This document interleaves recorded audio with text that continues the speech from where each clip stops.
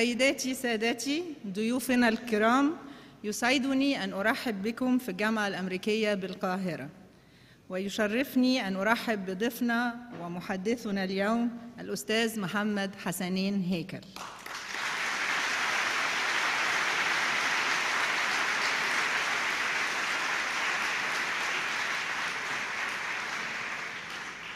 يسعدني أن أرحب بكم في قاعة إيورت التذكارية التي شهدت عبر, عبر أكثر من 80 سنة نخبة مميزة من المتحدثين وشهدت مناسبات تاريخية عديدة. إننا من خلال مكتب العلاقات العامة نحيي من جديد هذا العام سلسلة المحاضرات باللغة العربية جنبا إلى جنب مع سلسلة محاضراتنا المعتادة باللغة الإنجليزية. وبالمناسبة أحب أشكر كل زميلاتي في مكتب العلاقات العامة على شغلهم وروحهم روح الفريق الجميلة وشغلهم المتميز فبشكرهم جميعا.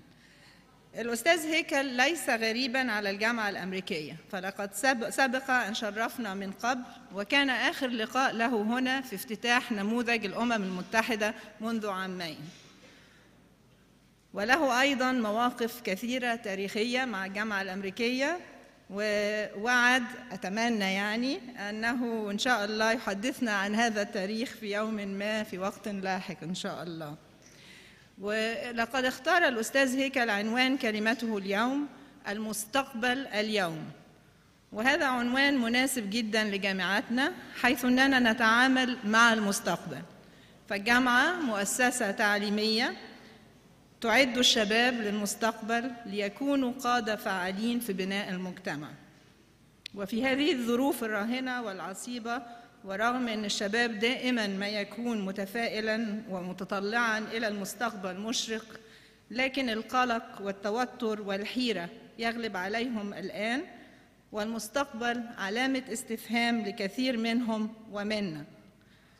يصيبنا خيبة أمل عندما ننظر حولنا ونرى عالم مليء بالصراعات والقهر والظلم ولذلك إننا متشوقون للاستماع من الأستاذ هيكل ونشكره لأنه سيشركنا في تصوره للمستقبل. وأرجو لمن يريد أن يسأل أن يتقدم لإحدى الميكروفونات. سيكونوا الناحيه دي والناحيه دي آه وينتظر دوره لو سمحتوا وأرجو أن تكون أسئلة قصيرة ومحددة وليست تعليقات أو محاضرات أخرى يعني. وأود أيضا أن أخبركم أن قناة دريم للتلفزيون تسجل الندوة كاملة وسوف تذاع بأكملها في وقت لاحق. مش متأكدة إمتى بالضبط. غدا الساعة تسعة مساء. غدا الساعة تسعة مساء. سيداتي سادتي يصعب علي جدا تقديم الأستاذ هيكل لأنه طبعا غني عن التعريف وهذا واضح من الحضور اليوم. وفكرت وقلت نفسي ألاقي كلمة واحدة توصف الدك... الأستاذ هيكل. فوجدت الحقيقة للأسف يعني إنها كلمة بالإنجليزي كلمة سيج باللغة الإنجليزية. تهيألي إن دي تصفه أحسن وصف. وتعريف سيج باللغة العربية هو رجل فيلسوف متعمق في الفلسفة رجل قد نضج فكره وحكمه على الأمور رجل عاقل يتأنى في الحكم من خلال خبرته الطويلة. سيداتي سادتي أقدم لكم الأستاذ محمد حسنين هيكل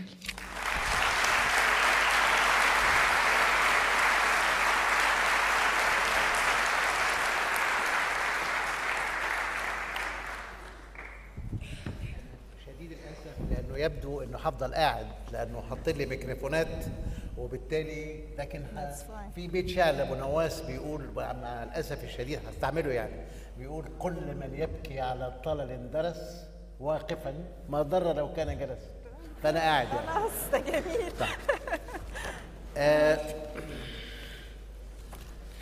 حضرات السيدات والسادة إنني سعيد إذ أجد نفسي الليلة وسط هذه الصحبة الكريمة المهتمة بالشأن العام والحريصة على متابعة الحوار فيه. وسعيد أيضا أنني أتكلم في هذه القاعة التي سمعت على مدار تاريخها صوت الحوار مفتوحا دون قيد. وسعيد أخيرا أن ذلك يجري في رحاب هذه الجامعة التي قامت وما زالت تقوم بدور تعليمي وتنويري أضاف إلى العقل العربي وما زال يضيف. وحديثي الليلة حول موضوع حسبته لازما وغرضي منه إلقاء نظرة فاحصة ومتأملة على أحوال مصر قبل نهاية هذه السنة بالذات فتلك كما قيل وتكرر بإلحاح طوال شهورها ذكرى مرور نصف قرن على ثورة 1952 وقيمة أي مناسبة من هذا المستوى أنها تذكير بما جرى بالأمس وتفكير فيما يجري اليوم واستشراف لغد مأمول ومرتجى وربما تفضل البعض ولاحظ أنني على شدة ما اقتربت من ثورة يوليو ومن قائدها تباعدت عامدا عن مناسبة الذكرى. ولم أشارك بفعل أو بقول في احتفالاتها لسببين. أولهما ذاتي والثاني موضوعي. السبب الذاتي أن ذلك الاحتفال بالطريقة التي جرى بها كان هوائيا صاخبا ومسرحيا. وفيما بدا لي فقد كان الاحتفال الذي امتد عاما كاملا عاما بأكمله كما قيل مناسبات لا أظن أن أي منها ترك علامة أو استنهض همة أو رسم خطا يومئ إلى أفق أو يدل على طريق. والسبب الموضوعي أن الاحتفال جرى محاولة للتوفيق والتزويق. خلطت السياق وتعسفت مع المراحل حتى بلغت حدا شديد الوطأة. ليس على التاريخ فحسب وإنما على العقل وعلى الوعي وبالتالي على المستقبل وعلى الضرورات التي تستدعي النظر إليه ودراسته والاستعداد لرحلته. ولقد كان يمكن لمناسبة الذكرى أن تضع أمام الشعب والأمة خريطة تكشف وترشد لكنها لسوء الحظ وضعت أمامه ألبوم صور لا منطق فيه ولا معنى. كانت الصور لأربعة رجال. رتبت مواقعهم متصلة ببعضها متتالية واحدة بعد الأخرى. وفي وضع الصور إيحاء بأن الجميع عائلة متماسكة وعصرا ممتدا وسياقا متصل تسقا وبالتالي فهم في الهوية رؤية واحدة وفي المرجعية سند واحد ثم أنهم في النتيجة شرعية متصلة وظني أن ذلك غير صحيح.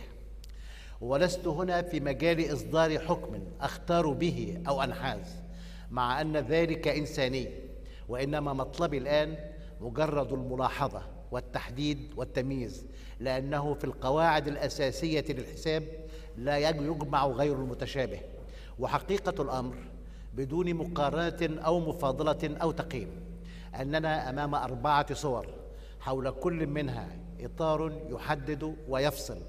والألبوم من أوله لآخره ناطق بأن تلك الخمسين سنة لم تكن عمرا تدفق طبيعيا مرحلة بعد مرحلة وإنما هي بكل الشواهد عصورا متعددة اختلفت وتناقضت وفي بعض الأحيان تصادمت.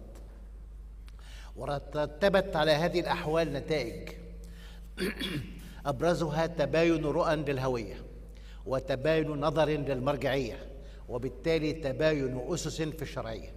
وقد تكون تلك طبيعة ظروف تبدلت أو طبيعة نفوس تغيرت. في وطن خرج طبق مقولة عالم الاجتماع الأشهر ماكس فيبر من مرحلة الإطار الأبوي التقليدي للشرعية إلى شرعية مرحلة الانتقال وفيها دور الرجل الواحد سواء كان ذلك الرجل زعيما شعبيا أو خلفا له من أقرانه أو من جهاز الدولة المسؤول عن تسيير الأمور وذلك تقدير فرانسيس فوكوياما وهو عالم اجتماع آخر معاصر.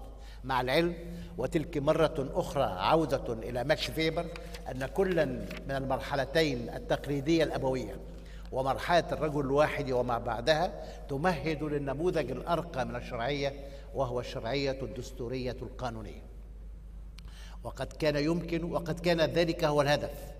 الذي كافح الشعب المصري وغيره من شعوب الأمة العربية لبلوغه وما زالوا مؤمنين أنه حق الوطن وكرامته ودرس التاريخ وعبرته. وكان هناك شكل لهذا النموذج من الشرعية قبل الثورة لكن نتائج التجربة تكشف أنه ظل استعارة للمظهر دون الجوهر لأن الشرعية الدستورية والقانونية تتأتى وتترسخ نتيجة تطور اقتصادي وسياسي وثقافي يتجلى معه نوع من النمو المجتمعي يعطي للشعوب والأمم فرصة للحوار تتكافأ فيه المواقع ومن ثم تتوازى المصالح وتتوافق الأهداف. وللإنصاف فإنه في بلدان مستعمرة أو محتلة وهو ما كان عليه الحال في كل البلاد العربية إلى بداية الخمسينات من القرن العشرين فإن الكلام عن الشرعية الدستورية والقانونية يجيء حلما متخطيا للواقع لأن الاستعمار والاحتلال الأجنبي كلاهما مانع من الشرعية والممكن الوحيد في مثل تلك الظروف هو ملء الفراغ بنوع من نصوص القانون تفرضه القوة الغالبة وحكم الحياة في مواجهته ظهور نوع من مشروعية المقاومة يعبر عن إصرار يتحدى الواقع المفروض ويجاهد للانتصار عليه. ومن قبل الثورة وبعدها وحتى الآن فليس من باب التجاوز أن يقال أن ما عاشه العالم العربي ظل محصورا في نوعين من الشرعية أو إطارين من الشرعية ينتظران ثالثهما وفق مقولة ماكس فيبر عرف العالم العربي تجربة الشرعية الأبوية التقليدية قبلية أو عائلية وهي ما زالت حاكمة حتى الآن في بعض أوطان الأمة. تسمي نفسها ملكيات أو سلطنات أو مشيخات أو أوصافا من هذا القبيل. وعرف العالم العربي تجربة شرعية الانتقال يبرز فيها دور الرجل الواحد زعيما شعبيا أو خلفا له نادته الظروف من أقرانه أو من غيرهم. وفي التجربة المصرية وربما في غيرها فإن تكرار دور الرجل الواحد أربعة مرات لا يعني وجود وحدة في النسب أو اتصال للسياق أو مصدر مستمر لذات شرعية كان اللواء محمد نجيب أول هؤلاء الرجال الأربعة في التجربة المصرية وكان يمثل شرعية التغيير من الملكية إلى الجمهورية ومواصفاته أنه الرجل الذي لقي إجماع ضباط الجيش في انتخابات ناديهم آخر ديسمبر 1951 وكانت تمهد له طلعة تقابل الناس بقسمات رجل ناضج متهلل بابتسامة تحمل رسالة طمأنينة تبشر بأن التغيير الذي هبت رياحه فجر 23 يوليو 52 آمن ومعقول. وفي ظروف ذلك التغيير فإن الرجل قام بدوره كاملا. على أن المشكلة التي واجهته في النهاية أن اعتبارات التغيير وملابساته كانت مختلفة عن دواعي التغيير وأحكامه. وفيما بين هذا الاختلاف بين قدوم التغيير وبين ضغط مطالبه وقع مأزق الصورة الأولى وكذلك رفعت من مكانها دون فرصة لها تحدد هوية أو تؤكد مرجعية أو تؤسس شرعية. وكان جمال عبد الناصر هو الرجل الذي يمثل دواعي التغيير ومطالبه ومعه يصح القول بأن الشرعية الثورية اليوليو بدأت وأرجح التقدير أن الشرعية الثورية اليوليو لم تكن نظرية معروفة أو خطة متكاملة متكاملة ولعلها كانت أقرب إلى تعبير متجدد عن المشروع الوطني القومي الذي ينادي مصر في عصور نهضتها وقد ناداها أكثر من مرة عبر القرون وحتى قبل أن تتحدد بوضوح تلك المعالم السياسية المتفق عليها كيان لكيان وطني أو رابطة قومية أو شريعة حقوق أساسية يحكمها دستور وقانون وغير ذلك من القيم التي طرحتها وعمقتها الثورات الكبرى في التاريخ الإنساني. وفي تعبيرها المتجدد وفي زمانها فإن الشرعية الثورية اليوليو حاولت التوصيف والتحديد وهنا فإنها أمام قضية الهوية. عرضت نفسها كما هي طبيعة أي حياة إنسانية فإنها عرضت نفسها في عدد من الملامح متعددة ومنسجمة في نفس الوقت. ملمح هوية مصري يتصور وطنا يحقق استقلاله ويخطط لتنمية شاملة توفر أرضية تتقدم لتقدم يواكب العصر ولعدل اجتماعي تتكافأ فيه الفرص بقدر ما يتسع نطاق العمل الوطني. وملمح هوية القومية يتصور انتماءه إلى أمة تفاعلت في محيطها عوامل الجغرافيا المتصلة والتاريخ المتواصل ومعهما عوامل الثقافة المستندة إلى لغة واحدة إلى جانب تأثير التشريع المعتمد لأكثر من أربعة عشر قرناً على مصدر رئيسي تمثله سلطة خلافة متماسكة أو مبعثرة في شظايا تسمي نفسها دولا أو إمارات أو حتى خديويا. وملمح هوية إنساني مستقل مفتوح لتعاون حر تتسع دوائره عربية إسلامية أسيوية وإفريقية. وهذا التعاون حريص في كافة الأحوال أن يكون استقلاله موصولا بميثاق الأمم المتحدة ومبادئه. وهنا كانت مرجعية يوليو استطرادا منطقيا لهذه الملامح المتعددة والمنسجمة لهويتها. فهذه المرجعية على التراب الوطني كفاحا لبلوغ الاستقلال ينهي بقايا الاحتلال العسكري والسيطرة الإمبراطورية ويصفي مواقع الاستغلال الأجنبي اقتصادية ومالية. وهذه المرجعية في العمل الداخلي خططا للتنمية أساسها التصنيع والتعليم. وجهدا في تحقيق العدل الاجتماعي. يقوم في الزراعة على إعادة توزيع الأرض وتدعيم الملكية بالتعاون وفي الصناعة على الملكية العامة كما كان الحال في معظم بلدان العالم المتقدم بالذات في أوروبا بعد الحرب العالمية الثانية. ويتزامن مع التنمية الشاملة طموح إلى المشاركة السياسية يبحث عن وسائل تمكن من المساهمة فيها. وهذه المرجعية في المجال القومي دعوة إلى وحدة الهدف ووحدة العمل ووحدة الأمن باعتقاد أن حق الأمة أكبر من سلطة أي نظام يحكم في وطن من أوطانها. وهذه المرجعية في المجال الخارجي يدا ممدودة إلى العالم القريب والبعيد من تأسيس حركة التحرر الآسيوي الإفريقي في بندونج والقاهرة إلى تأسيس تجمع الدول غير المنحازة في بلغراد ودلهي والقاهرة إلى تأسيس منظمة الوحدة الأفريقية من الدار البيضاء وأديس أبابا إلى القاهرة وذلك طويل طريق طويل ومضن في طلب السلام مع العدل يصاحبه استعداد في أي وقت لحمل السلاح ورد العدوان. ومن هذه الملامح تشكلت هوية يوليو وتحددت مرجعيتها وتأسست شرعيتها. لكن شرعية يوليو واجهت مأزقها الأكبر سنة 67 لأن ما وقع في يونيو من تلك السنة مع الاعتراف بضلوع قوى خارجية فيه في تدبيره وتنفيذه أدى إلى شرخ خطير بحكم أن أي نظام لا يستطيع حماية ترابه الوطني مهدد في مبرر وجوده وانكشاف شرعيته.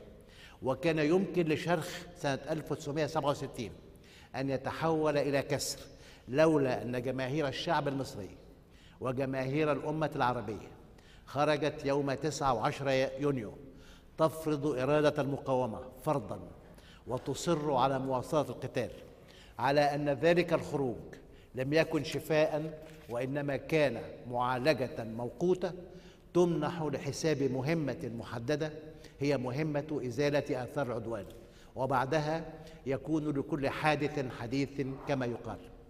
وكانت الأمة فيما تصرفت به أصيلة وحكيمة. وعلى نحو صادق مع النفس فإنه لا يصح لأحد نسيان أن شرعية يوليو أصيبت يوم 5 يونيو 67 ثم أن هذه الشرعية جرى تكبير شرخها للتمكين من مهمة مؤقتة ولمدة محددة. وكان جمال عبد الناصر نفسه أول من فهم الحقيقة واستوعب معناها. وتصرف وفق إملائها سواء حين أعلن قراره بالتنحي مساء 9 يونيو أو حين عاد عنه ظهر يوم 10 يونيو تحت ضغوط شعبية مصرية وعربية وعالمية.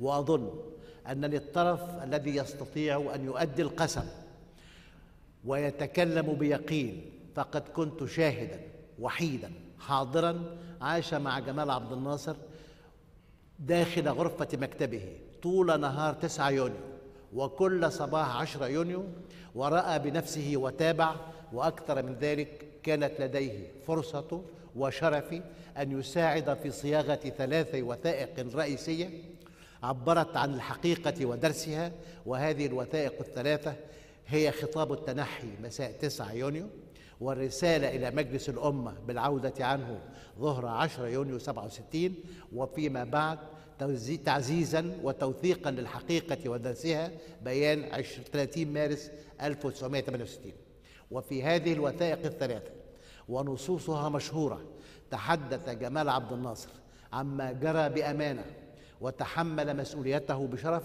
وقبل مقتضياتها مقتنعا.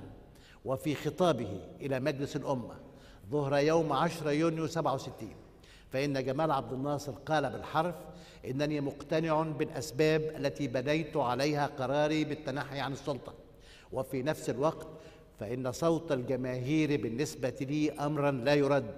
ولذلك فقد استقر رأيي على أن أظل في موقعي حتى تنتهي الفترة التي نتمكن فيها جميعا من إزالة آثار العدوان على أن يعود الأمر بعد هذه الفترة إلى الشعب. كان ذلك ما قاله. وأعرف بيقين أنه كان صادقا فيه بل أزعم أنني أعرف كيف كان ترتيبه لما بعد إزالة آثار العدوان. وباختصار على الأقل في هذه المناسبة فقد كان مصمما على أنه بعد تحقيق هذا الهدف ومعه استكمال بناء السد العالي رغم ضغوط حرب الاستنزاف أنه لا بد أن تقوم في مصر شرعية من نوع مختلف وكان حسابه أن الشعب بموقفه في تحمل المسؤولية والقبول بتبعات استمرار المقاومة. أثبت أن طاقته تجاوزت شرعية الثورة وشرعية قيادتها معا. ومع أنه اعتبر ذلك في جزء منه نجاحا يحسب لها فإنه في نفس اللحظة أدرك أن دوره قارب نهايته وأن عليه بعد إزالة آثار العدوان أن ينسحب من الصورة تاركا الأمة والتاريخ معا لحركة التقدم الطبيعي وتاركا سجله الكامل لأجيال قادمة تحقق فيه وتدقق وتوازن وتحكم على تجربته في مجملها مبدأ وتنفيذا فكرا وفعلا آفاقا وعصرا. وعندما جاء أنور السادات على طريق جمال عبد الناصر كما قال بنفسه فإنه ظل يواصل العمل داخل تلك الشرعية المؤقتة المرهونة بمهمة محددة هي إزالة آثار العدوان. وقد تحمل أنور السادات مسؤوليته في ظروف بالغة الصعوبة والحرج وكانت شرعية يوليو ما بقي من أصلها أو ما أضيف إليها مؤقتا قاعدته ظهر يوم 6 أكتوبر 73 حين أصدر قرار الحرب وعندما تحقق ذلك العبور للجسور وتمكنت الجيوش العربية لمصر وسوريا. يدعمها تحالف عربي ودولي واسع من إحراز ذلك النجاح المشهود.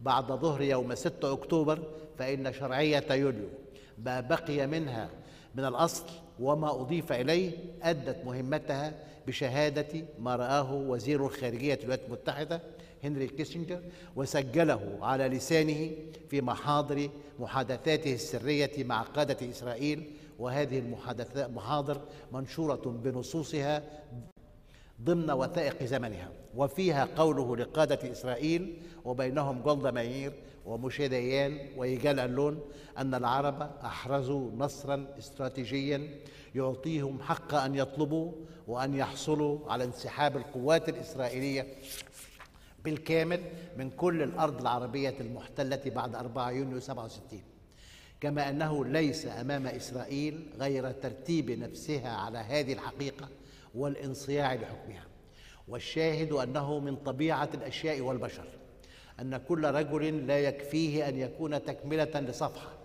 وإنما طموحه الإنساني أن يبدأ من رأس صفحة.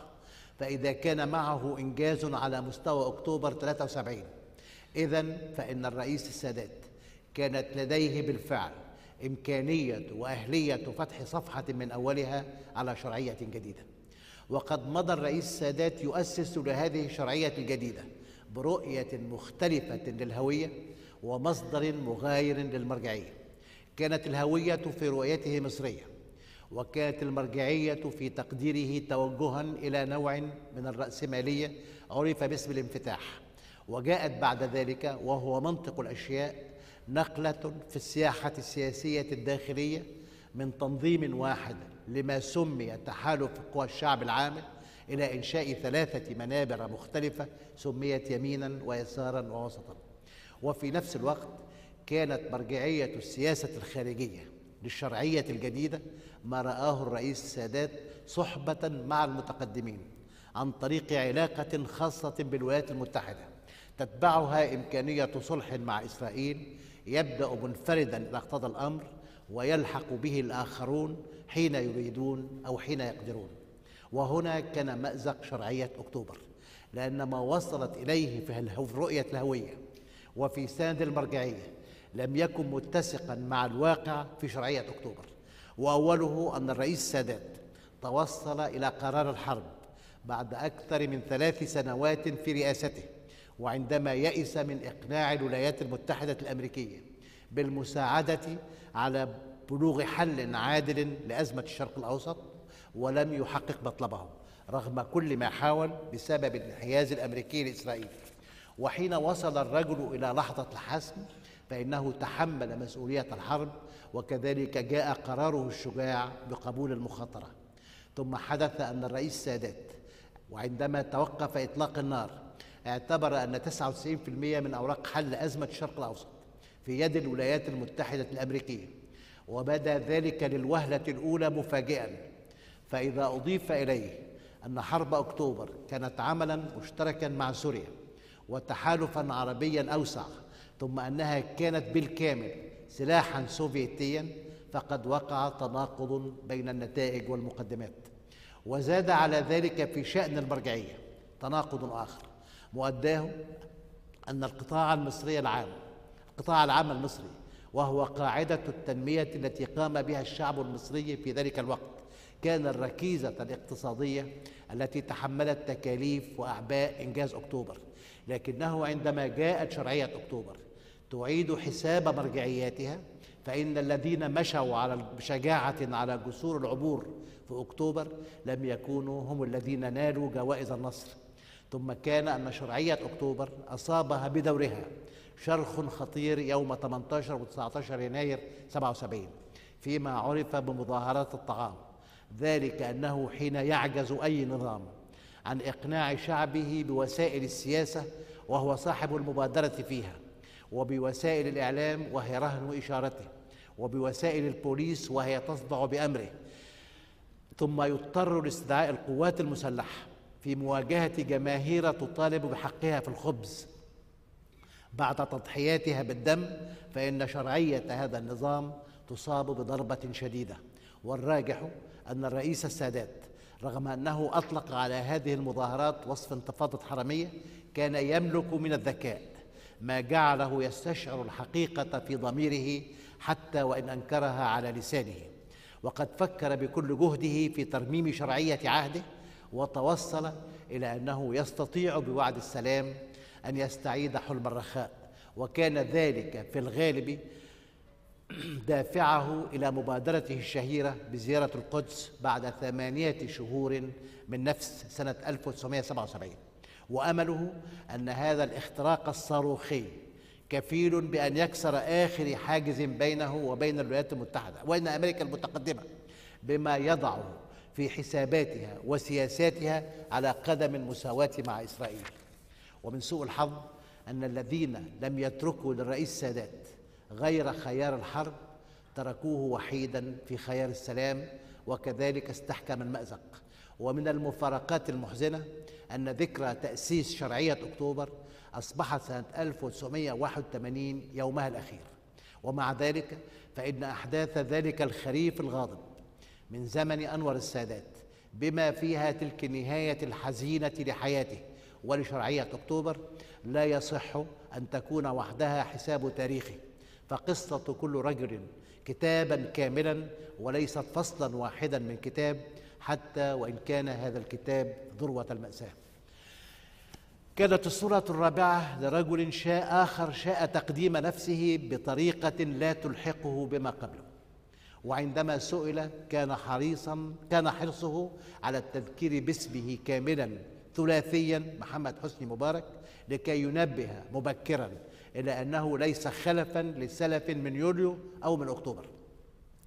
وكان ذلك الحرص من جانبه تاكيدا مضافا لمنطق أن مرحلة الانتقال تنسب شرعية الرجل الواحد إلى قيمة منجزاته والحاصل أن تلك الصورة الرابعة في مرحلة الرجل الواحد بدأت واستمرت وعدا وعهدا بالتقدم نحو الشرعية الدستورية والقانونية. وربما أن التطورات والمتغيرات في الوطن وفي العالم وفي الإقليم عوقت وعطلت وتسببت في تأخير يمكن فهم دواعيه. بين الدواعي أن الصورة الرابعة انتقلت إلى موقع الصدارة من خلال عاصفة نار ودم.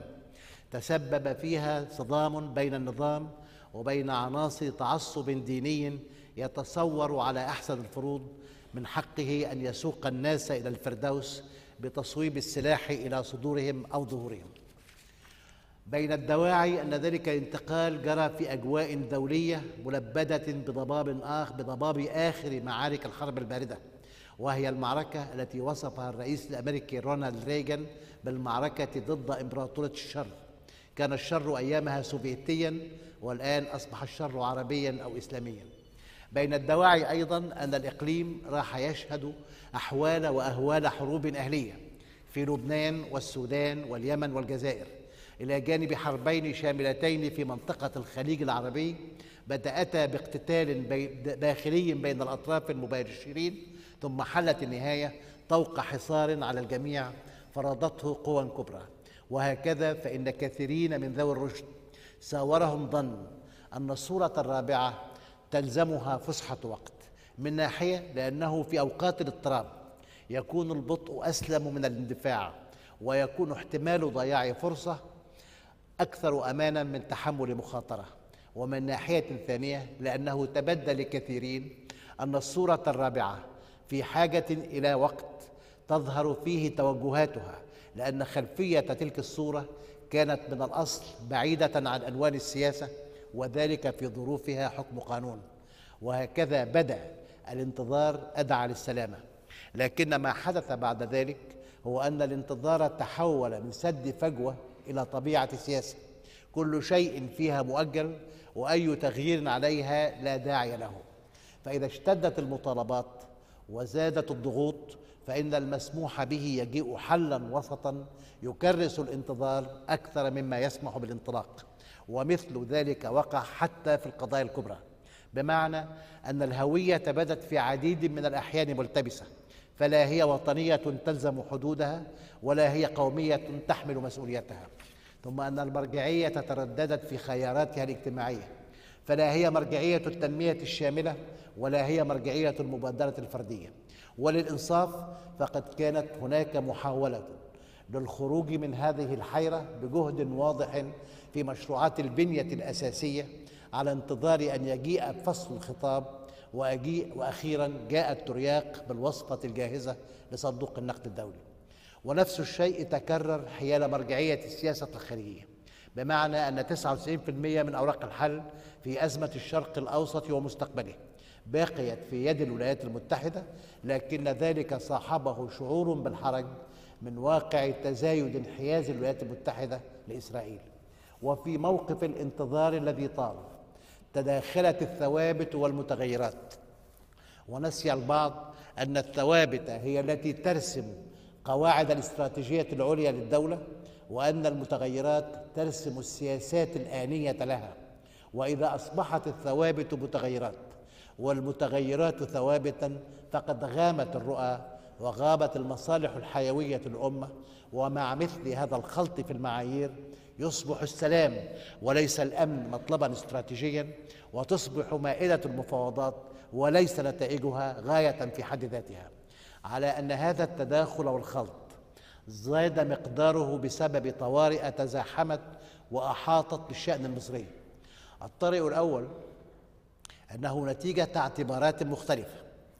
أنه نتيجة لاعتبارات مختلفة. فإن إدارة المواد الاستراتيجية المصرية في المنطقة تناقص تأثيرها على نحو يستدعي القلق. فمصر تبدو طالبة أكثر منها مطلوبة قاصدة أكثر منها مقصودة وذلك لا يريح. وهنا فإن تغطية نقص الفعل بزيادة الكلام لا يحل مشكلة. لأن الأدوار لا تقاس بما يدعيه طرف عن نفسه وإنما تقاس بما يعترف به الآخرون. والطريق الثاني أن هناك قضية قديمة جديدة ممزوجة بمياه النيل عادت تفرض نفسها بإلحاح متجدد ينضاف إلى قيمتها الأصلية وتلك هي علاقة مصر بالسودان. وهذه قضية تعرضت لأساليب متعددة في التعامل معها. وبصرف النظر عن التفاصيل فإن التطورات في السودان تستدعي نظرا أكثر تركيزا وأوسع فهما. والطريق الثالث أن هناك صمتا يبدو ثقيلا إزاء خطر زادت وطأته ملاصقا للحدود الوطنية. ينادي بأنه ليس في مقدور مصر بالتزامها القومي أو بدونه أن تقبل على جوارها تفوقا في المجالات العسكرية والعلمية والتكنولوجية. تختل به موازين القوى على هذا النحو. فذلك وضع لم تعرفه مصر من قبل على طول تاريخها. وإذا كانت تحتاج إلى درس فيه رغم أن جوارها رغم أن جوارها لإسرائيل حادث مستجد فعليها مراجعة تجارب التاريخ مما كان في أوروبا بين فرنسا وألمانيا وفي آسيا بين الصين واليابان وقريبا منها في البحر الأبيض بين تركيا واليونان ثم تقرر دون عصبية. ولا تقفز فوق الواقع ولا تخضع له. أن فجوة القوة على حدودها يستحيل قبولها أمرا مسلما به. وأن تلك الاستحالة وليس غيرها هي تحدي القرن الجديد. والطارئ الرابع أن إسرائيل بما تقوم به في المنطقة وعلى نطاقها المباشر أو الأوسع لم تعد بعيدة عن ذلك الحلم. الذي تصوره تصوره مؤسس دولتها ديفيد بن جورن وهو حلم يسعى إلى حصر مصر وراء حدودها مع إطلاق يد إسرائيل في مشرق العالم العربي. ومن سوء الحظ أن مشاهد هذا الحلم المجنون تتوالى على خط الحدود المصرية ذاته واصلة إلى قطاع غزة نافذة إلى قرية رفح المقسومة إلى نصفين بين مصر وفلسطين ثم لا يستدعي ذلك وقفة لازمة بالضمير على الأقل. والطارئ الخامس أنه جرى عدوان متوحش على حرمة المال العام وفاحش على أمانة النظام المصرفي. وهذا العدوان المزدوج أهدر الحقوق واستباح القيم وألحق أشد الضرر بالاقتصاد الوطني فضلا عن تأثيره على الضامن الأخلاقي والقانوني لهذا الاقتصاد الوطني ولغيره من شؤون المجتمع. والطريق السادس أن هناك بيانات بينات تشير إلى أن الدور الثقافي المصري يتراجع وذلك مثير للشجن فقد كان لمصر دائما حتى بغير العنصر السياسي وأدائه إسهام ثقافي خلاق وملهم لم تشحب أنواره ومن الحق أن أضيف أن مكتبة الإسكندرية الجديدة تستطيع أن تكون شعاعا في سماء رمادية عندما تقدر طاقة الفنار على اختراق كتلة المعمار. والطارئ السابع أن ذلك تزامن في التوقيت مع مع قضية خلافة تنتظر الحسم لأن رئاسة الجمهورية الحالية قاربت مدتها الدستورية بعد أربع فترات تناسخت بدأت في 14 أكتوبر 1981 وتتصل بإذن الله إلى 14 أكتوبر 2005 ولم يعد ممكنا لهذه الفترات بحكم الطبيعة أن تزيد. ومعنى ذلك أن الغد أحد احتمالين إما صورة خامسة تتكرر بها الصور على نحو ما أو أنه إذا صدق الوعد والعهد باب مفتوح لتطور صحي تستقيم به الأمور وتستقر الحقوق. وكل تلك طوارئ جادة لا تعالج بلصق الصور ولا بصخب الاحتفالات. وفي محصلة ذلك ومغزاه أن مصر الآن وليس غدا في حاجة إلى رؤية أمينة للهوية وإلى ساد في المرجعية أصيل وإلى شرعية تؤسس لزمن يستحيل قبوله امتدادا متكررا لشرعية الرجل الواحد أو لدعاوى حزب يعتبر نفسه ديمقراطيا بدليل تزاحم الأجنحة داخله وبشاهد تجمعات تظهر على هامشه تحاول إثبات وجودها دون وسيلة لإبراز ذلك إلا نشر صحف يومية أو أسبوعية. ومن المحقق أن الوقت قد حان وزيادة للانتقال إلى الدرجة الأعلى في مراحل الشرعية أي الشرعية الدستورية والقانونية لأن مصر بكل ما حققت تجاوزت وينبغي لها أن تتجاوز. مرحلة الشرعيه الأبوية التقليدية وفق مقولة فيبر. ثم أنها اجتازت كذلك شرعية مرحلة الانتقال وفيها دور الرجل الواحد وقد جمعت في تلك المرحلة ألبوم صور يكفيه ما فيه ولا يحتاج يقينا إلى خامسة خصوصا إذا لم يكن لهذه الخامسة ما يستدعيها من مطالب ثوره أو حتمية حرب أو مفاجاه اغتيال وفي تلخيص مختصر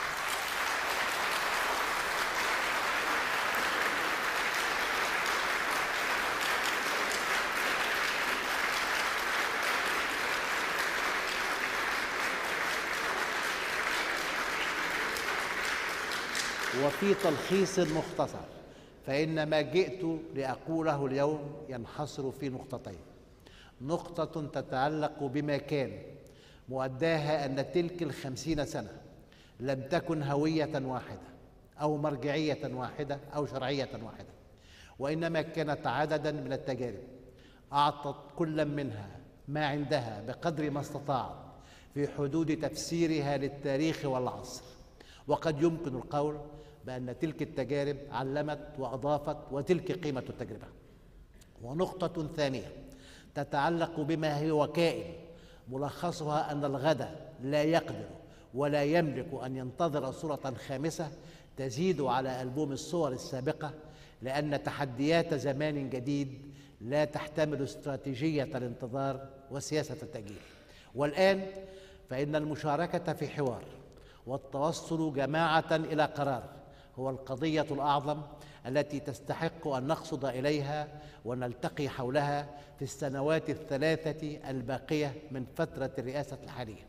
مسلمين أنها قضية لا يحق لأحد حكما أو حزبا أن يدعي فيها بوصاية أو باحتكار. وربما أن الوقت قد حان للاتفاق على عدد من الشواهد لم يعد ممكنا ولا جائزا إنكارها. أولها أن مجرد التواجد في الحكم ليس كافيا في حد ذاته لإضفاء الشرعية على أي تنظيم أو نظام. ثانيا أن القعود طول الوقت يتحول إلى حالة من الجمود تهدد مطالب التجدد سواء في الأفكار أو في السياسات أو في حركة تتابع الأجيال دون إقرار بأن الاستقرار يتحقق بالتواصل مع الزمن وليس بتكبيس كل شيء على حاله وكل رجل في وظيفته. ثالثا أن مرجعيات مصر في الداخل والخارج غير واضحة. وعلى الأقل فإنها ليست مسنودة بقواعد مرئية. يمكن قياسها وحسابها ومن ثم التعامل معها بأمان. وربما أن هناك ورابعا أن هناك تناقضا في الأداء الرسمي بين زهو الكلمة وتواضع الفعل. وهذا التناقض أنتج فجوة مصداقية اوصلت إلى إحباط شبه عام. وخامسا أن أوضاع الإقليم وأوضاع العالم تواجه مصر بما لم يعد في مقدورها تأجيله أو تحويل النظر عنه أو الادعاء في شأنه سواء أمام النفس أو أمام جماهير تجد نفسها باحثة في فضاء الآخرين لتعويض فراغ تحسها حولها. وكل تلك اسبابا تستوجب حوارا جادا واسعا عميقا صافيا شفافا خلال السنوات الثلاث الباقية من مدة الرئاسة الحالية حتى يستطيع الوطن أن يرسم خريطة متجددة لحياته في إطار موضعه وموقعه متناسبة مع أزمنة متغيرة تحركها أشواق للرقي غير محدودة. وتتداعى في هذا السياق ملاحظة جاء موضعها وذلك أن همسا شاع أخيرا حول اقتراح بتوريث السلطة في مصر. ومن الحق والإنصاف أن يسجل بأمانة واعترافا بالفضل أن المعنيين بهذا الموضوع موضوع مباشرة أبدوا فيه رايا قاطعا ومسؤولا. فقد عرض رئيس الجمهورية في كلمات لا تحتمل التأويل ونبرة حزم لا يظهر عليها تردد نقطتين. الأولى أن مصر بلد يختلف عن غيره من البلدان. فلا هو وطن طائفة أو قبيلة أو عشيرة أو عائلة تلح عليها فكرة توريث السلطة لسبب أو لآخر. والثانية أن النظام الجمهوري بطبيعته وفلسفته لا يعرف توريث السلطة ايا كانت الحجج. زاد على ذلك أن الوريث الذي تردد اسمه في حديث الخلافة أبدى هو الآخر. في هذه المسألة رايا واضحا وبينا قائلا باجلى عبارة أنه لم يفكر ولا يفكر في أي منصب تنفيذي.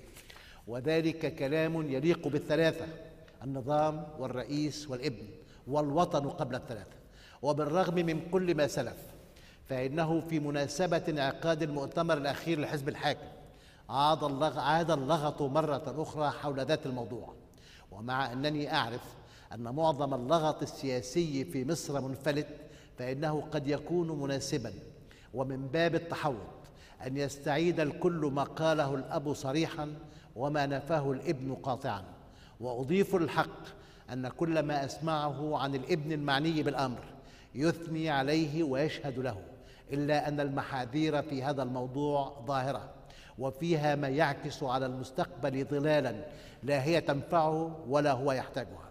والحقيقة أن التاريخ يتو... لا يتواصل ولا يتقدم ولا يتقدم بالتلكؤ أو بالتزايد وإنما يتقدم التاريخ ويتجدد بمقدار ما تستطيع الأمم والشعوب أن تحدد من رؤاها وطموحاتها وبمقدار ما توظف من مواردها ووسائلها.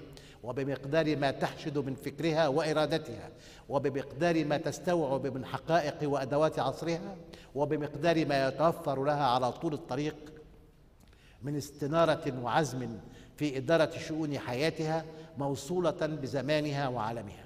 وهنا تزيد الحاجة إلى المشاركة في الحوار والقرار.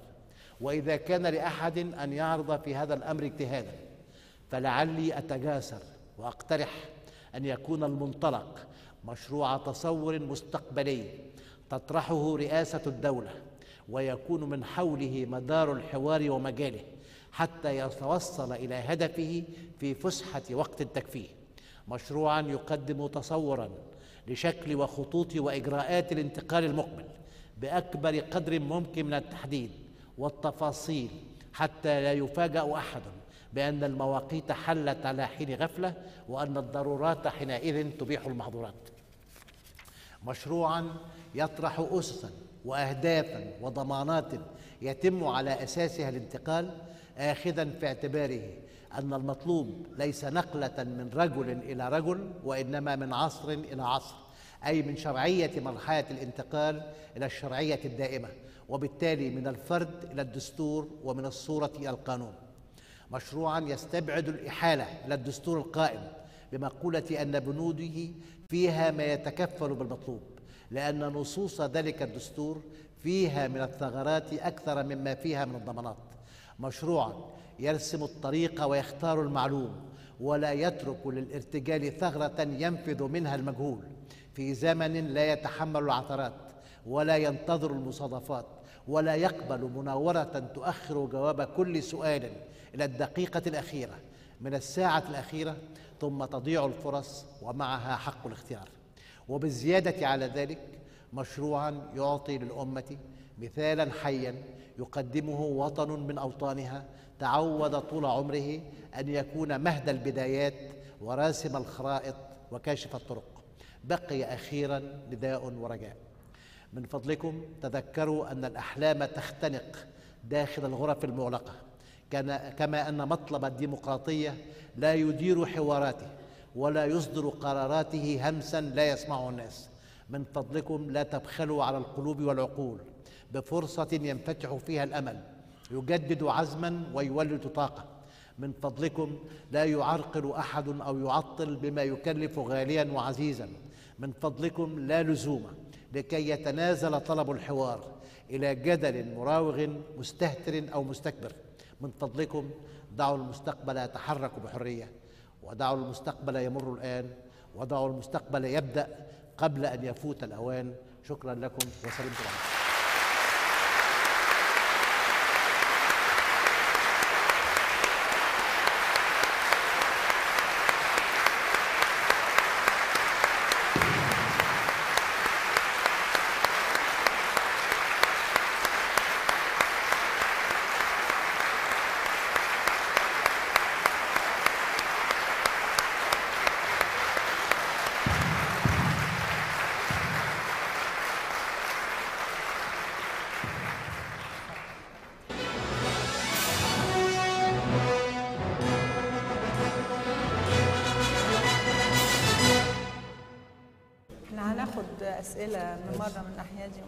ومره من الناحيه دي اتفضل. أحمد عبد الرحيم باحث وكاتب. آه، بما أنني أول المتحدثين آه، فإنني أريد أن أعبر عن شعوري الشخصي بالامتنان للجامعة الأمريكية وأقول لك باختصار أنا سعيد بالاستماع إليك هذه الليلة. آه، في الحقيقة منذ علمت بموعد اللقاء في صبيحة الثلاثاء الماضي وسؤال يشغلني حتى اللحظة. وبما أنني لم أكن أعلم موضوع حديثكم الليلة وأنه سيكون عن هموم الوطن فإنني أستأذنكم في أن أطرح سؤالي وهو عن هموم الأمة كلها. آه سيدي الأستاذ سؤال محدد وصغير و وصريح. أريد أن أسألكم أن طوال خمسة عشر ساعة خمسة عشرة ساعة في اليوم تقريبا أسمع وأقرأ وأكتب أحيانا. أريد أن أسألك هل ثمة من جدوى من الكلام أو من الكتابة أو من القراءة؟ لا أريدك أن تقول لي الإحباط لا يفيد والإحباط فوق ذلك مضر أنا أعلم ذلك جيدا. لكن أسأل تحديدا عن الجدوى هل من جدوى في ظل هذه الظروف التي لا تحتاج إلى وصف؟ شكرا لك. ما أنا عايز أقول لك إيه انه بحقيقي يعني حضرتك اتكلمت وأنا عارف أنا عارف زيك ويمكن مع الأسف شديد أكتر. المعوقات اللي بتخلي من حق ناس يتكلموا ومن حق آخرين يتصرفوا ده كله أنا عارفه. لكن يبقى ما هو أمامنا عمليا؟ ما هو إحنا قدامنا إن إحنا نتكلم وقدامنا إن إحنا ييأس ييأس ونسكت وقدامنا إن إحنا هاجم لكن أنا بعتقد إن إحنا من واجبنا باستمرار. أن نظل نتكلم وأن نلح وأن نوضح وأن نستنهض همما وأن نوقظ وعيا على أمل إنه إنه هذه الأمة يعني أنا أعلم كمية التنويم اللي حصلت في هذا البلد وفي غيره في الأمة العربية. يعني أنا عندما أرى إنه العالم كله يتظاهر على سبيل المثال وفي إنجلترا مظاهرات ضخمة في أمريكا مظاهرات ضخمة في كل مكان فرنسا مظاهرات ضخمة في ألمانيا مظاهرات ضخمة. ثم أجد إنه النهارده بالتحديد الناس اللي في الجامعة الامريكيه الأساتذة والشباب اللي حبوا يعملوا مظهر من مظاهر التضامن مع الشعب الفلسطيني ومع القضية العربية. منعوا وطلب إليهم أن يبقوا في الداخل بحس بأسف لكن يبقى قدامنا باستمرار إنه إحنا من واجبنا وأنا آسف أقول لك إني هقول لك برضه لا تيأس لأنه ليس لا تملك في بديل آخر الصمت هو الموت فأنت عليك إنك تظل تتحدث حتى يسمع صوتك وتظل تتحدث حتى يؤثر هذا الصوت وإلا تعمل إيه؟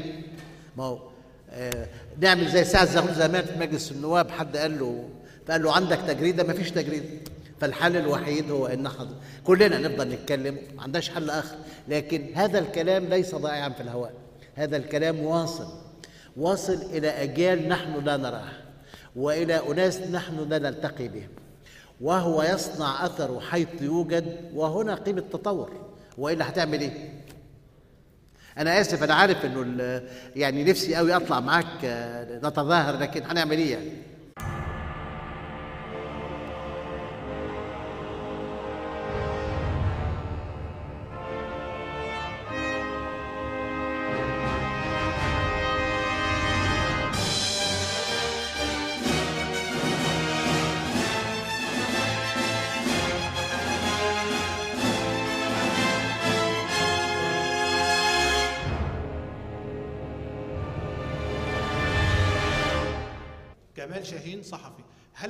العربية مهددة بفقدان استقلالها الآن؟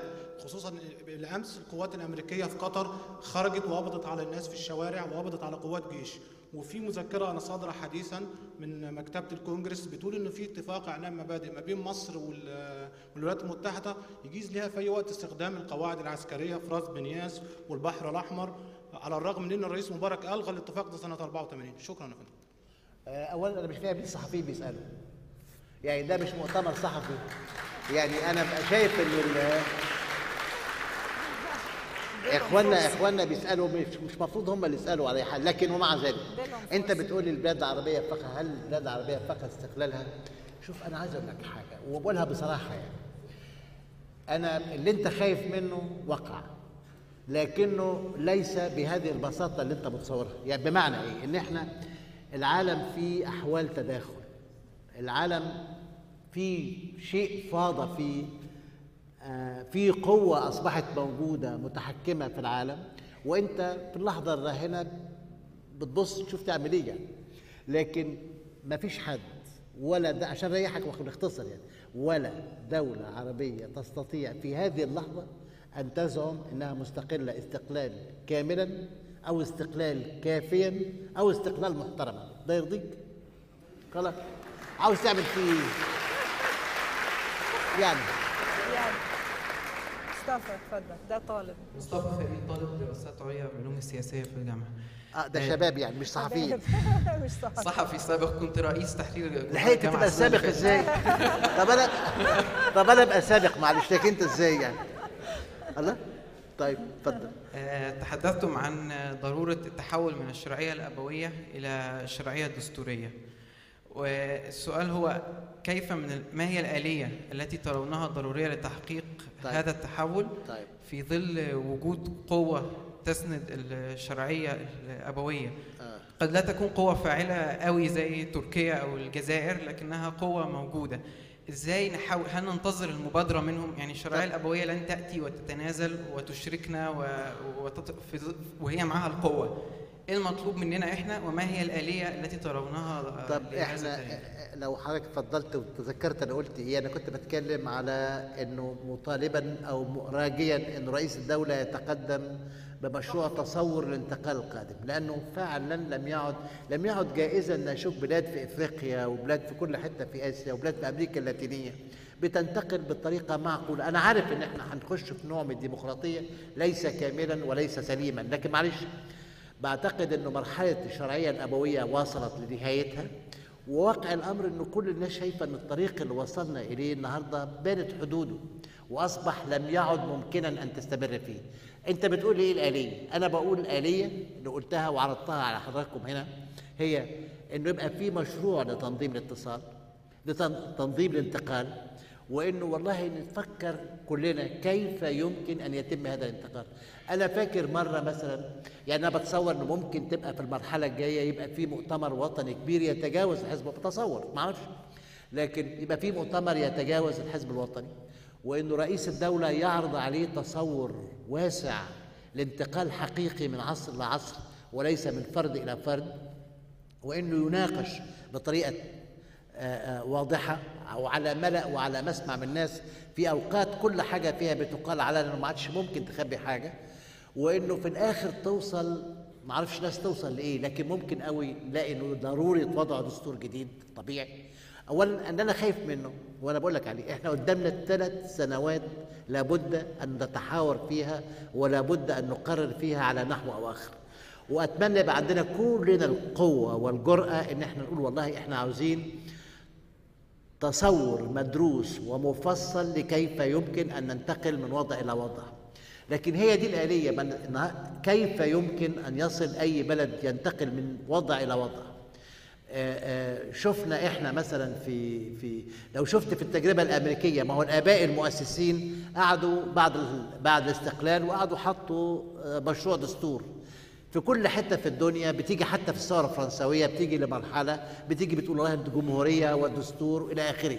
أنا أظن إن إحنا تجاوزنا كل الفترات المطلوبة في تجارب الانتقال.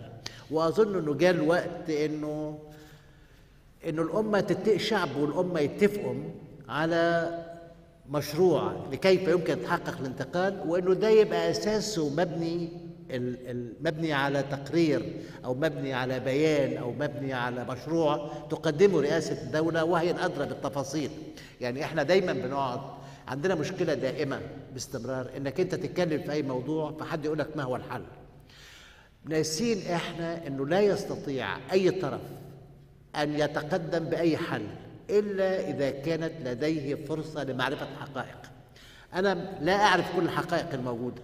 ما أعرفش إيه السانكشنز ما أعرفش إيه الحدود اللي ممكن فيها آآ آآ نصل إليها. لكن أعرف إنه رئيس رئاسة الدولة تعرف أكتر عندها الحقائق قدامها فأنا بقول اولا حطوا لنا من فضلكم مشروع. وعايز أقول إن ده ليس لجوءا إلى آه، رئاسة الدولة لكن ده ما يحدث في كل بلد متقدم ديمقراطي حتى لأنه باستمرار حتى قيادات الأحزاب بره سواء الجمهوريين ديمقراطيين محافظين العمال في إنجلترا ب- رئاسة الحزب تتحسس اللحظة التاريخية تتحسس مشاعر الناس ثم تكون هي التي تتقدم ببرنامج يحولها من حزب إلى حكومة وهي وضع جدول اعمال ونحن الذين لا نعرف إلا قسط الحقيقة. أو جزء منها نناقشها في اللي بتقوله. لكن أنا بتصور إن وسيلتنا الوحيدة النهارده هو إننا نحاول أن نرجو ونتمنى ونلح على إنه رئاسة الدولة تدينا وبأسرع ما يمكن. يعني أنا بتصور لو سألتني كيف أتصور الاقتراح اللي بقوله أنا مستعد أقول لك إن أنا بتصور إن في وقت ما إحنا مقبلين على عاصفة في المنطقة. وإن طالب أي حد يعمل تقرير في هذه اللحظة ويتكلم عن الانتقال أنا عارف إن ده صعب أوي. لكن أنا مستعد أتصور إنه على الخريف القادم لابد أن يدعى إلى مؤتمر من نوع ما. لابد أن يدعى إلى تجمع شعبي من نوع ما. ثم يكون على رئاسة الدولة أن تتقدم بمشروع التصور للانتقال لأننا قدام مشكلة حالة.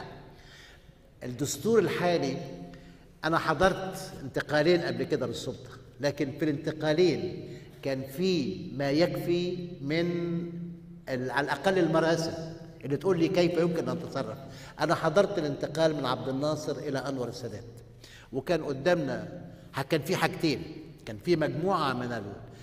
كان في دستور موجود تختلف أو تتفق معاه لكن بينظم حدود معينة وبيرسم إجراءات واضحة. وكان في مجموعة من الناس استطاعت إنها تفرض القواعد اللي موجودة في الدستور. في وقت الرئيس سادات كان بعد الانتقال من الرئيس سادات للرئيس مبارك. كان في عاصفة كبيرة ولكن كان لا يزال دستور سنة 71 موجود وكان في ذلك الوقت متسق مع الحقيقة. النهارده لما تقول لي دستور 71 دستور 71 بيتكلم على انه والله العمل السياسي يقوده تحالف قوى الشعب العام. مش موجود مش صحيح. فإذا هذا الدستور اللي موجود واللي نظم انتقال السلطة من أنور السادات إلى حسني مبارك لم يعد هذا الدستور على الأقل له قيمة ما كان موجودا وقتها. بيتقال والله إنه الدستور بينظم ده. مشكلة الدستور الحالي إنه اخترق أو اتكسر في مواضع كتير منه. ما عاد لم يعد ممكنا لهذا الدستور في اعتقادي أن ينظم مرحلة انتقال يطمئن إليها. وبالتالي فنحن أمام موعد ضاغط على جميع الناس. وينبغي إنه ما حدش يقابله بنص حل. لازم كلنا نحاول نقابله بحلول كاملة. تكفل انتقال سلمي وإلا هنخش في مشكلة لا حدود لها.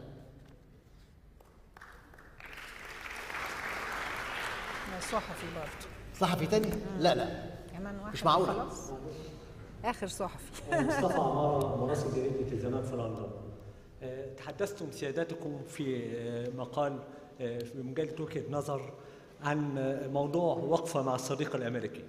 وقلت إنك أننا يجب أن, أن بالنسبة لمصر أن يكون لها وقفة مع الصديق الأمريكي. فما هي طبيعة تلك الوقفة؟ وما هي أوراق الضغط التي تملكها مصر على الولايات المتحدة في ظل التشرذم العربي وغياب دور المؤسسات الدولية؟ يعني عارف إيه أنا خايف إنك أنت بتقلل قوي من من من قدرة مصر ومن قيمة البلد دي اللي أنت فيها. أنا بقول إنك أنت عندك أوراق ضغط. إن إحنا مع الأسف الشديد لا ندرك انت بتدرك مرات ندرك المحسوس والمادي فنقول المعونة. لكن لا تدرك القيمة الأدبية لك إذا تكلمت بصورة واضحة وبلغة مفهومة. وقلت والله إنه هذا الوضع لا يرضيني أوضاع معينة لا ترضيني وإني والله هتخذ مواقف ولو حتى بالصمت. أظن تقدر. أنت مش عارف ليه, جاي مين إحنا جايبين هذا الاستضعاف الشديد لأنه الكلام حضرتك بتقوله مؤداه إنه أصبح هناك موات وإنه لم يعد هناك أمل وأنا ده مش شايفه. لكن أنت بتغفل العامل المعنوي. أنا ببص على الخريطة كلها وشايف كل الأمة في حالة ضياع. وإذا استطاع الصوت أن يصدر من القاهرة رسميا من القاهرة السياسية والتاريخية معا وقال حاجة لها قيمة فأنا واثق إنه كل الناس ممكن تسمع.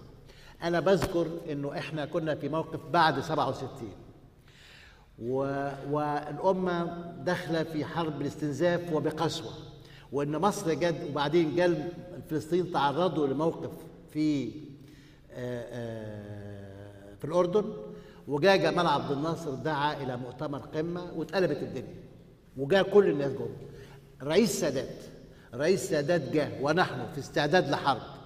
ونحن معتمدين على الاتحاد السوفيتي. وجاء وقرر إنه اتخذ خطوة وجدها في إطار ما يملكه وهو لا يملك مصدر سلاح إلا المصدر السوفيتي. مصدر السوفيتي. ومع ذلك الراجل وقف وطلع كل خبراء السوفيت تتفق أو تختلف معاه لكن هنا مارس. وفي من حق كل بلد صغير مهما كانت قد كده قوته. لديه قدر من الإرادة ولو المحدودة وهو يستطيع في إطار هذه الإرادة المحدودة أن يحقق نتائج غير محدودة خصوصا على النطاق السياسي والمعنوي.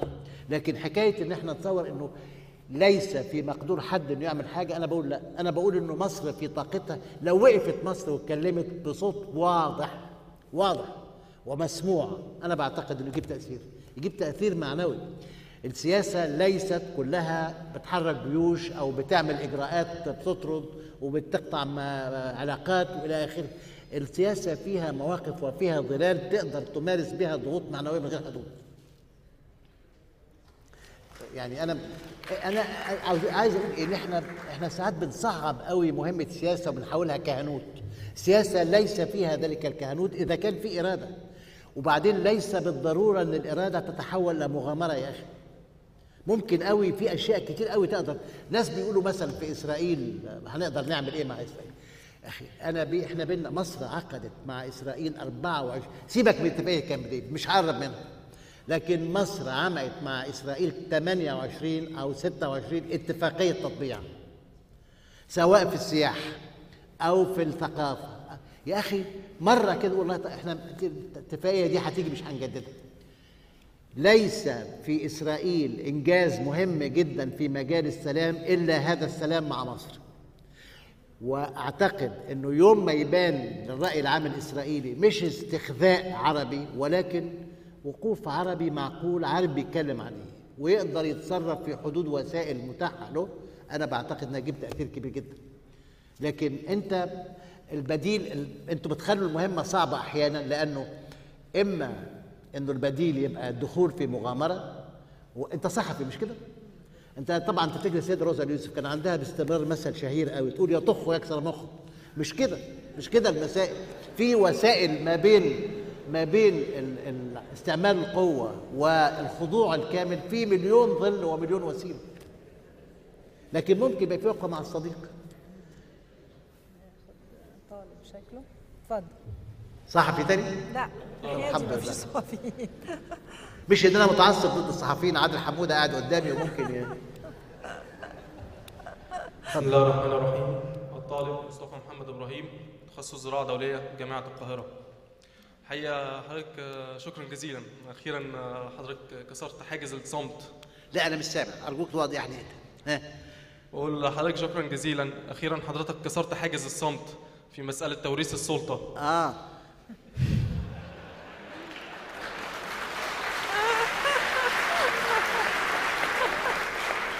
لكن أنا عاوز أقول لك حاجة عشان نبقى فاري عشان نبقى واضحين. في قبلي كسروا الصمت.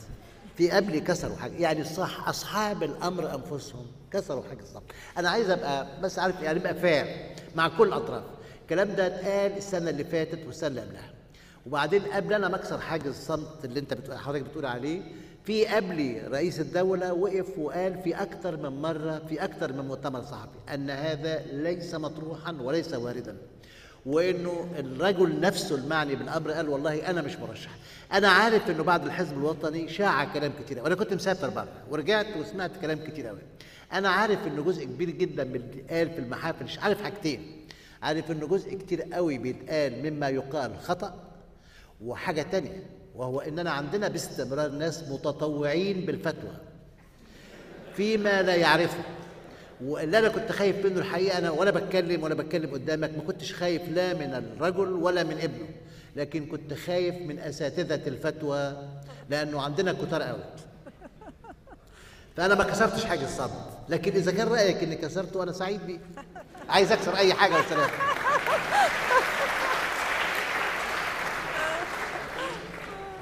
حبيت السؤال. اتفضل. السؤال. هو أنا أعطيتك؟ والله أنا آسف. أنا اتذكرت خلصت أنا أقصد حضرتك على المستوى الإعلامي حتى في قضية مش توريث السلطة ولكن مسألة تداول السلطة غياب الرؤية المستقبلية في هذا الأمر الحساس والحيوي. ده اللي أنا أقصده. طب أنا هقول لحضرتك حاجة. أنا معترض على الكلام اللي بيتقال على تداول السلطة. قول لي إذا كان في حزب على سبيل المثال. إذا حصل في وقت مارجريت تاتشر على سبيل المثال إنها كسبت ثلاث انتخابات ورا بعض. هل حد يقول لي إنه مارجريت تاتشر ليس لها حق أن تبقى في السلطة؟ لأنه لابد من تداول السلطة. أنا عايز أقول إيه؟ إن تداول السلطة نتيجة لبروسيس لعملية ديمقراطية وينبغي أن يكون واضح. لأن أنا بشوف ناس في الأحزاب المصرية بيقعدوا يقولوا إيه؟ لابد من تداول السلطة. تداول السلطة ينبغي أن يتم وفق معايير معينة بمعنى إنه يكون بيمثل إرادة حقيقية لدى الناس. لكن طب أنا بفرض إنك أنت جيت عملت انتخابات. وبفرض الناس جم اختاروا الحزب الوطني انتخابات حرة والناس اختاروا الحزب الوطني أعمل إيه أنا؟ أنا عايز أقوله إنه تداول السلطة في حد ذاته مش هو الشعار. لكن الشعار هو تحقيق حق الاختيار. هو ضمانة حق الاختيار. لكن التداول طب التداول ده يعني كيف تفرض التداول؟ ومعناه إيه؟ هل يجي لي مثلا حزب ما أعرفش في واحد عامل حزب يقول لي والله من حق الدور جه عليا؟ بمنطق التداول. في في لازم نتكلم عليه هو حق الاختيار وضمانات حق الاختيار وكفاءة حق الاختيار. وما تتوصل إليه إرادة شعبية واضحة هو اللي يملك السلطة سواء كان القائم أو غيره. أه، تاني؟ أنا السؤال بس حضرتك. يعني أنا قطعتك مرة تانية؟ صمم صمم أوه. يلا. بس بس هو حضرتك كان في ملحوظة يعني هو حضرتك دايما في اللقاءات التلفزيونية كنت بتركز على جزئية حضرتك بتضع نظرية معينة بناء على حقائق ودوت ظهر مثلا في اللقاء الأخير في دريم أو آخره. لكن اللي أنا أقصده حضرتك في اللقاءات التلفزيونية بتبقى تطرح بعض الآليات سواء التي تجب على الحكومات أو على الشعوب بحيث إن حتى المواطن أو شاب مثلا مثلي يقدر يكون قصاده بدائل يقدر يفكر فيها سواء اتفق معاها أو اختلف. شكرا جزيلا. خلاص؟ طيب أنا يعني أنا مش عارف حضرتك قصد إيه في الآخر لكن أنا عايز أقول لك إن إحنا قدام انتقال وقدام بداية جديدة وما عندناش دستور ينظم هذه البداية الجديدة وليس أمامنا حل إلا أن نتحاور. كلنا بنطرح مقترحات لكن ما حدش عندنا عنده بدائل. لكن كلنا عندنا تصورات وعندنا مقترحات. ونأمل إنه عن طريقها نستطيع أن نحقق انتقال معقول يعني. ناخد من هنا عشان سؤال أخير بقى. أشرف راضي باحث متخصص في العلوم السياسية. لا أنا مش سامع. أتفضل. أشرف راضي. أي اتفضل. آه، أخشى أن يكون في استبعاد الأستاذ هيكل لبدائل أخرى للترتيب لانتقال سلمي للمستقبل سوى مشروع تطرحه رئاسة الدولة أن يكون في هذا استبعاد يعبر عن حقيقة أنه لم تعد هناك لا قوى سياسية قادرة ولا قوى فكرية مؤهلة لأن تتولى مبادرة على الأقل تكون بديلا في حالة عدم تقدم رئاسة الدولة بمثل هذا المشروع السلمي للانتقال للمستقبل. فإذا لم يكن هذا هل هل هل البديل هو ال- العنف الانتقال العنيف للسلطة للم- للمستقبل؟ النقطة الأخرى أنا في هذه الآونة أنا كنت أحب أعرف موقف سيادتك من مسألة تدخل القوى الخارجية للضغوط من أجل إحداث إصلاحات سياسية في مجتمعات من بينها ال- الدول العربية. شكرا جزيلا. آه، أول حاجة أنا ما لم أستبعد بدائل. أنا حاولت قدر ما يمكن وب- أنا وأنا عايز أقول لك حاجة أنا خايف على هذا البلد أكتر حاجة أنا خايف منها هو سيناريو الفوضى. لأنه في غياب قوة منظمة في هذا المجتمع أنا قلق جدا من سيناريو إنه يبقى فيه فوضى. وبالتالي فأنا بحط عيني باستمرار على بديل أستطيع أن أطمئن إليه. لأنه أنا أعلم أن بلدان أمامي قدام قدامي بلد عربي زي الجزائر فرط. هناك بلدان يمكن أن تفرض في هذا الوضع اللي إحنا فيه ولذلك فأنا بحثي الدائم هو عن وسيلة تجنبني الانتقال بعيدا عن سيناريو الفوضى. فإذا وجدت حضرتك بديل آخر يضمن الانتقال وهو ليس خارج الوضع الحالي إديني عنوان لأنه إحنا فعلا في حاجة إلى ما حدش يقول لي أنا استنى المجهول ما حدش يقول لي إن أنا هتجاوز الحقيقة فيما هو قا- قائم. أنا يعني أنا لا عاوز ثورات ولا عاوز انقلابات ولا عاوز ولا الزمن زمن حاجات دي كلها. لكن الزمن النهارده زمن جماهير تستطيع أن تعي وتستطيع أن تضغط وتستطيع أن تجعل قيادتها تنصت إليها وتفرض احترامها يعني. لكن أنا لا أرى بديل للانتقال إلا عن طريق ما هو قائم. وما أراه فإذا كان هناك شيء لا أراه فحضرتك دلنا عليه لكن الحاجة الثانية الضغوط الموجودة أنا عايز أقول لك حاجة لا يمكن لأي طرف أن يفرض على أي طرف آخر لمصلحة هذا الطرف من موقع خارجي. إن أنا عارف الأمريكان بيتكلموا النهارده بيقولوا إنهم والله هم داخلين يفرضوا آه، ديمقراطية. وأنا شايف نوع الديمقراطية اللي ممكن يفرضوها. ولا أعتقد إن هو ده الحل بالنسبة لنا لكن بعرف إنه على طول التاريخ كل القوى الغالبة حاولت أن تجد غطاء للمصالح التي تتوخاها ولل- وللمطالب التي تريد أن تفرضها مستعيرة لها شكل مبادئ وشكل شعارات. أمريكان داخلين على سبيل المثال بيدوا أمل للشعوب إن إحنا سوف ندخل وسوف نساعد وسوف نفرض قيم ديمقراطية وهم مش هيعملوا كده. لكن هم بيستخدموا يعني العالم العالم الثالث وصل مع الأسف الشديد إلى حالة من الترهل وحالة من ال... يعني لكن وكلنا بنحاول نوقظ حاجة لكن الأمريكان أيضا بيستعملوا سلاح التلويح بأنه فرض الإصلاح بدل من مجيئه بالداخل كمجرد ورقة ابتزاز وليس آه، آه، حقيقي لا وإنما هو حق يراد به باطل. فأنا يعني حتى في اللي أنا بقوله وأنا بتكلم على الانتقال وضرورة انتقال سلمي إلى مرحلة أخرى إلى شرعية أخرى إلى شرعية مؤسسة إلى شرعية باقية. فأنا في ده بحاول إنه نسد أبواب الذرائع كلها حتى لا يجيء أحد ولسبب معين آخر ولتطويعك في ميدان آخر يجي يكلمك عن الديمقراطية وحقوق الإنسان زي ما أنا شايف دلوقتي. يعني ما أنا ما أقدرش اقبل حقوق الانسان. حد يكلمني عن حقوق الانسان اللي حصلت في مصر وفي العالم العربي؟ وأنا عارف هي إيه. عارف وجربتها مرة يعني جربتها في مزرعة ترى يعني. لكن في مزرعة ترى ده سجن مش مزرعة يعني. ف آه، آه، ما حدش يقول انه لا بس تسيب لي اللي حاصل في أمريكا اللاتينية وتسيب لي اللي جاري اللي حاصل النهارده حتى في أمريكا ذاتها على الأجانب مش على الأمريكان. وبعدين تيجي تقول لي أنا هفرض على مصر ولا على سوريا لكن أنا عارف إنه هذه عملية إعداد لحملات من نوع آخر حملات تأديب ولكنها تحمل شعارات تبدو ترغيب وتبدو براقة كده يعني. لكن الهدف منها ليس صحيحا الإصلاح بنشكر حضرتك على اللقاء ال- الشيق ده وبنتمنى إنك ترجع لنا لأن في أسئلة كتيرة قوي يا أستاذ هيك يعني مش معقولة كده هنسيبهم من غير سؤال. و...